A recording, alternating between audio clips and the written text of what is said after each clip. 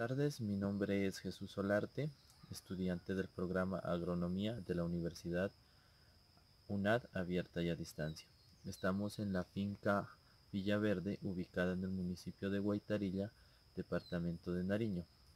Esta finca es netamente agropecuaria y aquí estamos para hacer el desarrollo de las actividades como es textura del suelo, pH, la prueba de catalasa y ureasa. En esta finca contamos con cultivos de granadilla, también hay cultivos de aguacate y en sí también está dedicada a la ganadería. Esta finca está ubicada a una altura de 2.254 metros sobre el nivel del mar. Tiene un clima tropical. La mayoría de terrenos son semiplanos y aproximadamente las precipitaciones son de 1800 a 2000 milímetros al año. La principal vía de acceso es la que conduce desde la vereda de Villanueva hasta Guaitarilla y de Guaitarilla a la ciudad de Pasto. También desde aquí se puede viajar hasta la vereda hasta la vereda de Alex, que aquí se la contempla, la cual contiene una carretera que sale al municipio de Consacá, Nariño.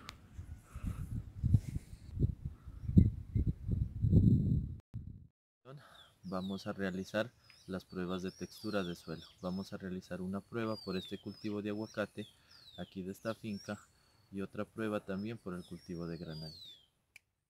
Bueno, vamos a continuar con el procedimiento de la textura del suelo. Como ya habíamos hablado antes, vamos a hacer el análisis de dos cultivos, en el cultivo de granadilla y en el cultivo de aguacate.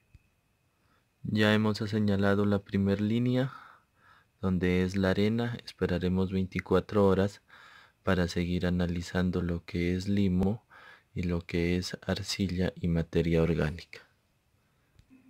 A continuación vamos a continuar con el proceso de la ureasa. Aquí ya tenemos los implementos listos, vamos a agregar agua y vamos a percibir mediante el olor. Al percibir los resultados de la ureasa podemos comprobar mediante el olfato que el que tiene urea con frijoles tiene un olor más fuerte que el que tiene uria con la prueba de tierra. Eso significa que evidentemente es menor la cantidad de intercambio biológico o capacidad biológica que hay en el suelo. Pero en sí sí hay percepción y sí se puede notar que hay actividad biológica en este suelo. La tierra que utilizamos fue la tierra del cultivo de aguacate. Bueno, de esta manera culminamos la prueba de ureasa. Continuando con la siguiente prueba, vamos a hacer la prueba de catalasa. Aquí ya tenemos todo preparado, todo listo para iniciar. Igual de cantidad de agua oxigenada.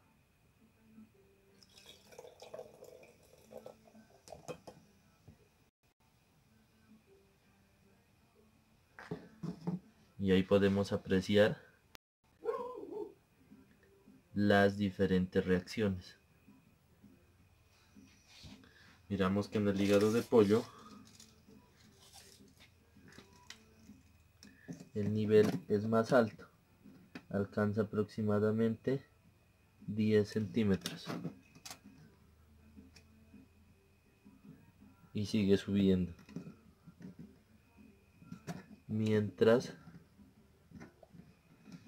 que la reacción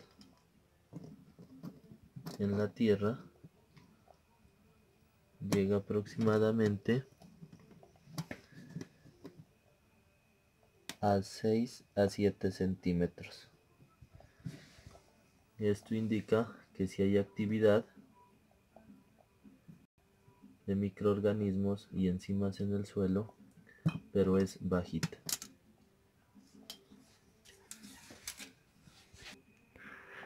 Con esto damos por finalizado la prueba de catalasa. Ya después de haber transcurrido las 24 horas, hemos medido cuánto es el valor total entre arena, limo y arcilla y hemos sacado los porcentajes para poder calcular qué tenemos por terreno. Ya mirando los resultados, después de haber transcurrido las 24 horas y sacado los respectivos porcentajes, podemos notar que tenemos en la muestra de suelo de aguacate un suelo franco y en la muestra de granadilla tenemos un suelo franco arenoso. Con esto finalizamos la, la prueba de textura de suelo.